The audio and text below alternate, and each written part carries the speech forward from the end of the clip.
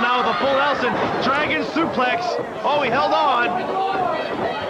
Lethal another dragon suplex. That's two. And the fans are chanting one. Oh, look, look at this.